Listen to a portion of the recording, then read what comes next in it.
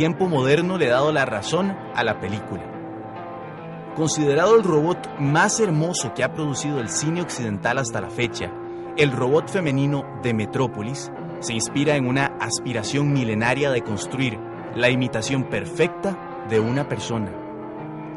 Con versiones que incluyen a la autómata Olimpia, imaginada en 1816 por Ernst Hoffmann en El hombre de arena, hasta las robots bellas e indetectables de Blade Runner, dirigida por Ridley Scott en 1982.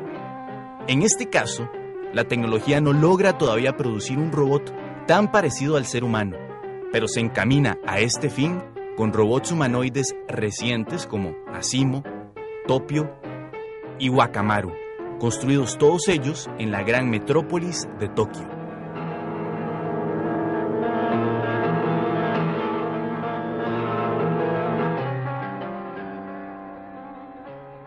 Bueno, estamos de regreso aquí en el estudio en Canal 15. Estamos hablando de la ciencia, la ficción y, la, y el cine con Julián Monge.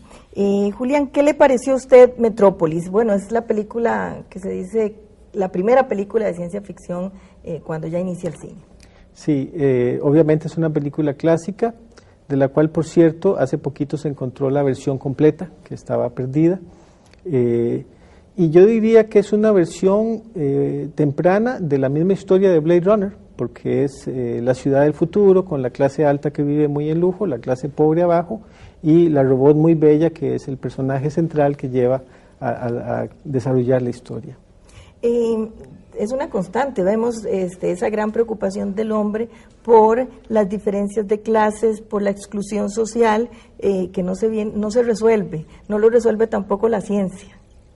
Y también hay un elemento que se suele pasar por alto y que no debería yo como científico tal vez sacarlo, pero es el amor. En todas estas historias hay una mujer que es el elemento del cual se enamora alguien y la pregunta es, ¿cómo distingo si este, esta mujer de la que estoy enamorado es real o es solo un robot? Eh, y la idea es esa, ¿llegaremos a esa perfección? ¿Usted qué cree? Yo creo que sí.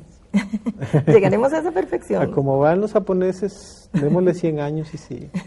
No lo vamos a poder ver. Por eso hago la predicción.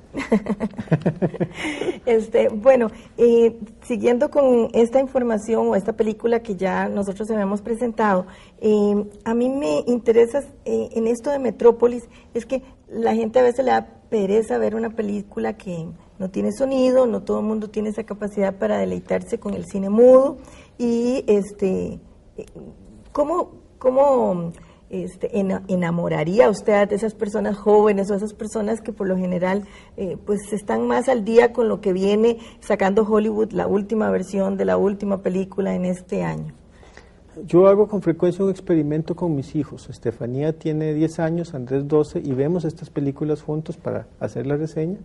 Y eh, yo les voy explicando, sobre todo estas que son muy antiguas, y a veces vemos varias versiones y siempre sistemáticamente me han dicho, me gustó más la película antigua, la, versión vieja. Eso me ha impactado porque yo no lo esperaba de los niños, pero posiblemente porque es un lenguaje más sencillo, más fácil de comprender para ellos. Entonces yo creo que una forma de disfrutarlas es en familia y que, uno aproveche para comentar y entonces esa lentitud se, se corrige por la interacción. Y entonces este, nos vamos ahora a ver otra película que nos reseñó Julián y de la cual eh, sí logró usted enamorarse de esa película, eh, Soy leyenda, eh, con Will Smith, un actor que últimamente ha protagonizado películas muy lindas. Una que me gustó a mí es En Busca de un Sueño, ah, preciosa, no tiene que ver nada con la ciencia ficción, pero veamos ahora esta reseña.